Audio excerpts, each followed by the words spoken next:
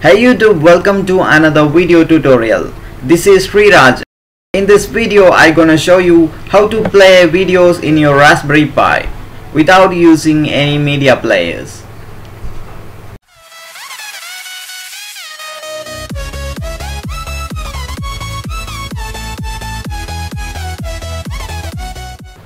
When I started using Raspberry Pi, I wanna play a video or audio on it. I checked in the Raspberry Pi store for video audio players, but I found one or two but they were not working properly. They failed to play medias on my Raspberry Pi. I researched a lot on the internet to play uh, videos on Raspberry Pi but none of them worked for me. So finally while working on my Raspberry Pi I just tried with the browser. Usually the browser plays the videos. It, it comes with inbuilt player for playing audios and videos. So I just tried with the default or the inbuilt browser in the Raspbian OS that is the Epiphany browser. Bingo, it successfully worked for me. So that is my trick for you how to play Raspberry Pi videos. Just by using the inbuilt web browser, you can open the video files on your inbuilt web browser, the Epiphany browser and enjoy the videos and musics on your Raspberry Pi without using any video or audio players.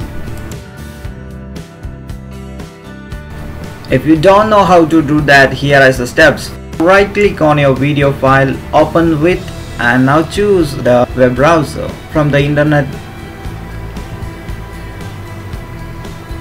And bingo the video file successfully opened in the web browser and it's playing successfully. And even the HD videos can be played using this web browser. That is the specifications. At the same time it works with audio as well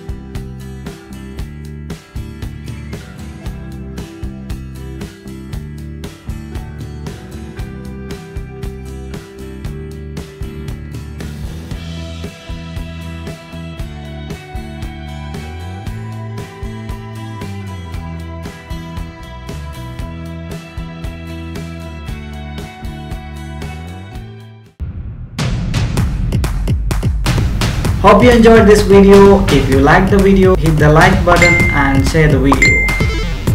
For more future videos, subscribe to our YouTube channel. This is Sreeraj signing off. Thank you.